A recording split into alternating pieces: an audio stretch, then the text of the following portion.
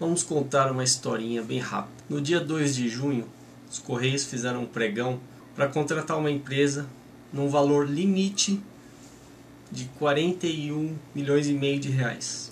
A Total Linhas Aéreas entrou no leilão sozinha, oferecendo 47 milhões de reais. É o que ela queria.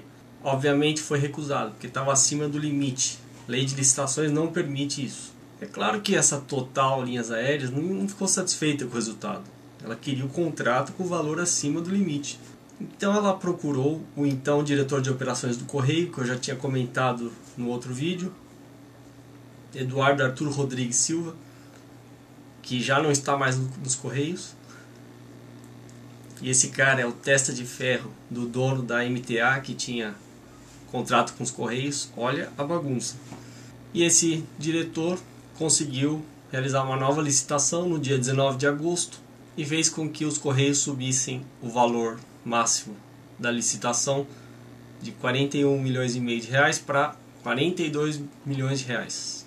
De novo, só a Total Linhas Aéreas participou dos lances e chegaram ao valor de 44,3 milhões de reais, de novo acima do limite.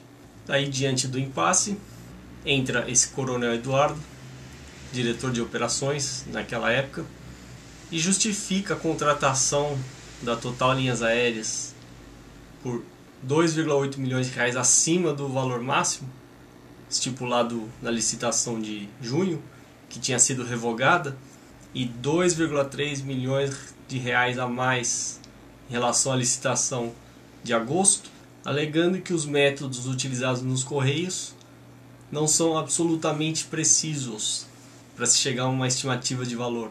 Aí a outra frase é mais engraçada.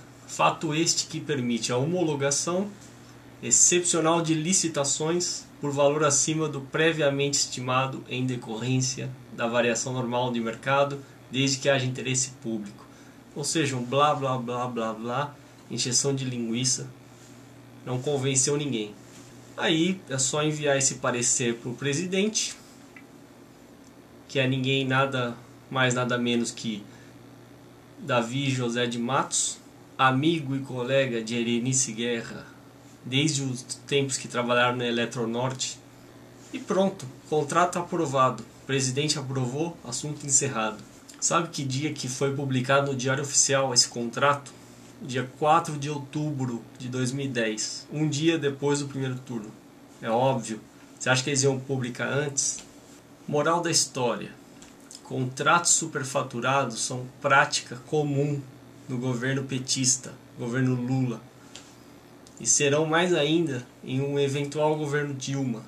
Porque o que eles fazem é o seguinte: eles colocam os seus amiguinhos nas estatais e esses amiguinhos contratam outros amiguinhos que são sócios em empresas, são favorecidos.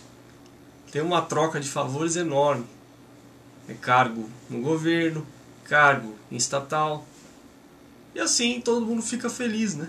Só não fica feliz quem não é amigo do Lula, ou da Dilma, ou do seu braço direito Erenice, como a gente, né? Que se ferra sempre. A gente paga para esses se locupletarem no poder.